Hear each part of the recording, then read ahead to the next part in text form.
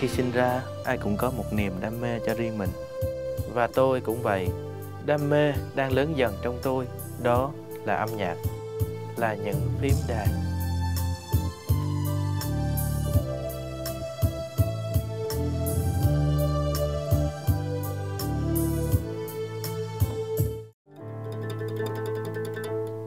Âm nhạc như hơi thở của tôi, không thể nào tôi thiếu nó được.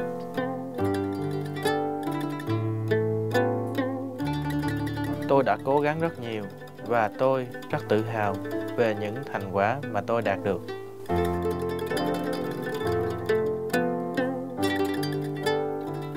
Và tôi là kỷ lục gia châu Á Bùi Ngọc Thịnh chơi thành thạo nhiều nhạc cụ nhất châu Á.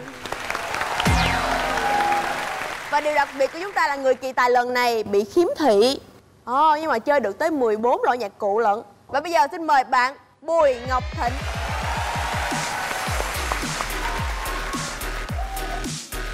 Ngồi đây. Rồi. Dạ, con xin tự giới thiệu, con ờ, Bùi Ngọc Thịnh, năm nay 17 tuổi, con quê quán tại thị xã Ninh Hòa, tỉnh Khánh Hòa. À Khánh Hòa hả? Hôm nay à, con tham gia chương trình cùng ai? Dạ, hôm nay ờ, con tham gia chương trình cùng với mẹ con và ông nội. Chúng ta cho gia đình của em Ngọc Thịnh một tràng pháo tay thưa quý vị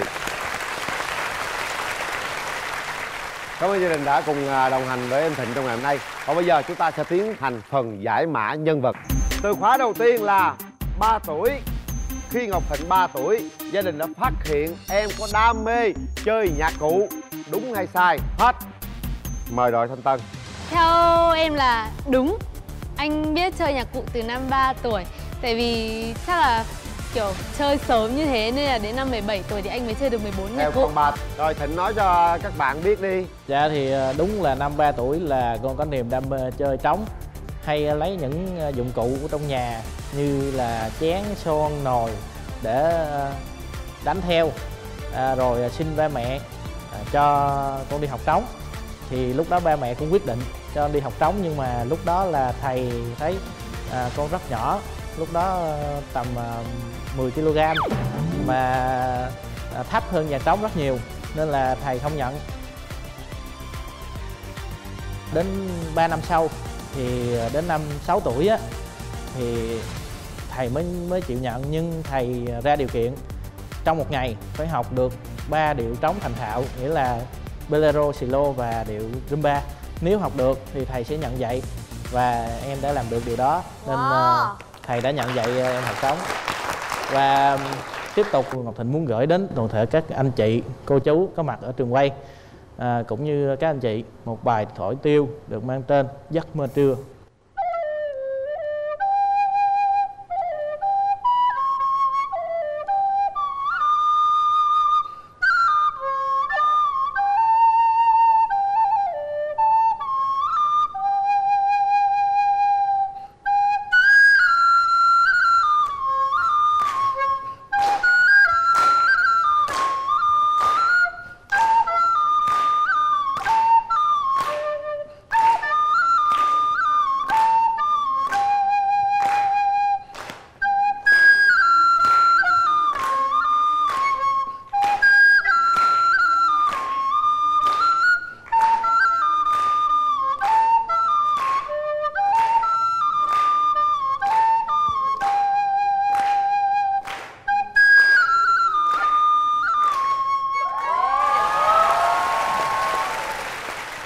Cảm ơn Thịnh rất là nhiều. Rất ngọt ngào nghe Nhớ à, quê hương quá. Con cảm thấy anh ấy rất là giỏi. Một mình con thôi con chỉ cần chơi hai loại nhạc cụ thôi là con đã cảm thấy wow khó quá trời. Và nó chơi tới 14 loại nhạc cụ là con cảm thấy Như vậy là cái sự nỗ lực của chúng ta bây giờ chưa là gì cả so Dạ. với bằng Ngọc Thịnh. Chúng ta sẽ tiếp theo từ khóa từ Ngọc Thịnh. Từ khóa là xe buýt Mỗi lần Thịnh đi học Ba mẹ là người đưa rước Thịnh Hay ai khác Hết. À, tại vì cái câu hỏi đợt này là nó liên từ khóa là xe buýt cho nên con nghĩ là có đôi lúc thì bà, ba mẹ đưa đi nhưng mà nhiều lần là đi học bằng xe buýt. Ừ, Đúng đó, cái đó mới đúng đó. Bên kia có ý gì không? Dạ thì em cũng ý ý vậy luôn á. Hỏi nó nghe Giỏi. về luôn đi chứ bên đây người ta hỏi thì trả lời không à. Nhưng mà người ta vẫn ý ý chung đồng đồng tình với ý chung người ta vẫn giữ nguyên là bên đó giỏi thiệt á bên đó công nhận nỗ lực giỏi thiệt. Ờ Trước tiên là mình xin kể một câu chuyện trước rồi sẽ tới chuyện xe buýt.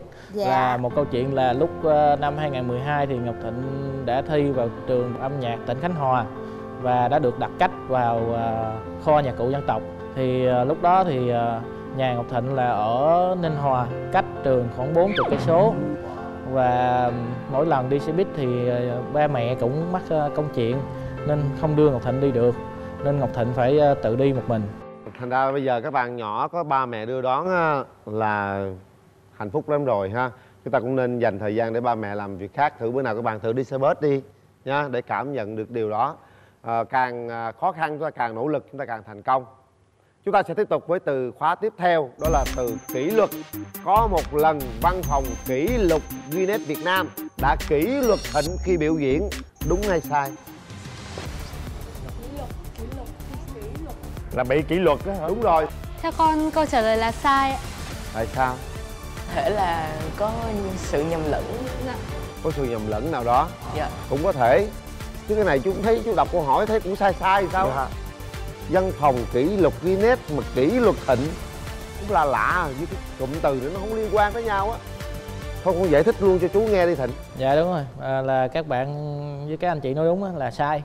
Tại vì á là lúc đó là văn phòng kỷ lục gia Việt Nam điện ra gặp ba em mà ba em nghe nhầm thành kỷ luật là à. là mới có cái chuyện mà ông nói là chết rồi con ơi giờ tức là là trong văn phòng kỷ kỷ luật á, nó điện ra nói con diễn nhiều nhạc cụ quá bây giờ mày mày bị kỷ luật rồi. Trời ơi. Là là e- em lúc đó là em rất là lo sợ mà không biết là bây giờ làm sao để cho hết kỷ luật. Mà khi mà không đi á, thì cũng sợ là nó ra nhà bắt nên là cũng phải đi. Mà khi mà đi á, đi vô tới ờ, văn phòng á, thì cứ nghĩ mình nhủ trong lòng là thôi giờ có nhiều hết sức lực mình diễn cho hết mình để may đâu ờ, người ta ờ, khỏi kỷ luật mình sao. Coi như là lúc đó là có bao nhiêu tài năng là đem ra biểu diễn hết để cho khỏi bị kỷ luật.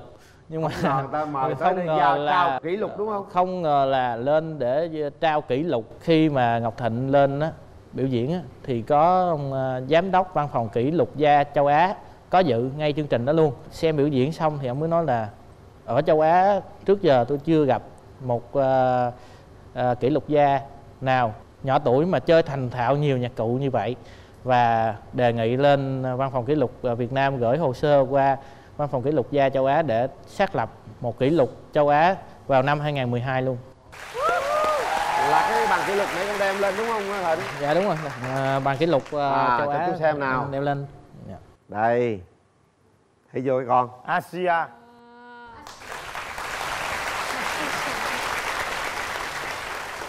Biết khi nào mình cầm cái bằng này ta? Khó. Khó lắm các con. Cho thấy rằng một cái sự nỗ lực. Chúng ta cho tràng pháo tay chúc mừng ngọc thịnh. Đây à, không chỉ niềm vui của con mà chú linh nghĩ rằng là niềm vui à, cả gia đình và tất cả mọi người xung quanh con. Ngay cả những người ngồi đây cũng rất là vui với cái à, kỷ lục bằng kỷ lục chứ không phải là kỷ luật ở nhà thì thịnh là người như thế nào hả cô Ngọc Thịnh rất là ngoan, à, rất là nghe lời bố mẹ và chăm chỉ trong việc học. Khi mà Ngọc Thịnh được à, à, đạt kỷ lục à, thì à, Ngọc Thịnh có được à, một cái à, đơn vị mời đến biểu diễn về là Ngọc Thịnh à, gửi cho mẹ và Ngọc Thịnh nói rất là rất là có hiếu. À, Ngọc Thịnh nói là mẹ ơi con à, con đàn bữa nay con có được tiền rồi. Con muốn gửi cho mẹ để ba mẹ à, dành để mua những cây đàn à, mà con yêu thích. Thì thu thủy rất là xúc động. Thì nói chung ra cháu nó mê cái cái cái, bên mà âm nhạc đó. Thì thấy nó cái phần nó nó đam mê quá thì mình thấy gì cũng tội. Chở nó đi tới trường đó đồ học đó. Mỗi lần ca thịnh đi diễn là chú chở đi hết đó hả? Đúng rồi rồi ráp đường rồi cho nó đó mà đáp luôn. Chú không phải là người thân gì hết mà chú chỉ là ở hội là thôi. À, coi như làm ở hội người mù á. Bây giờ thì à, chúng ta sẽ đến phần biểu diễn từ ngọc thịnh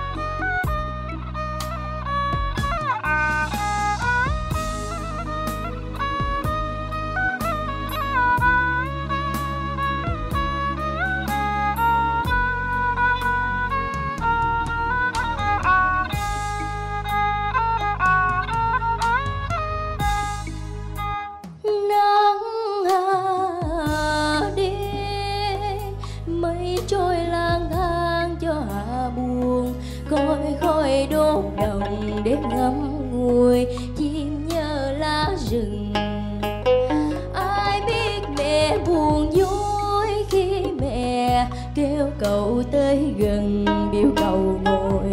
Mẹ nhiều tông sâu, hai chị em tông bạc như nhau.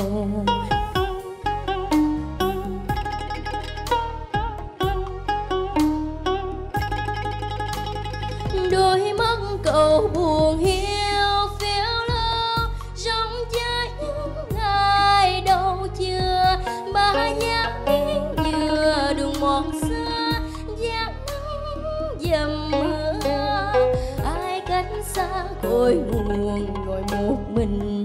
Nhớ lũy che xanh dạo quanh khung trời kỷ niệm chợt thèm rau đắng nâu.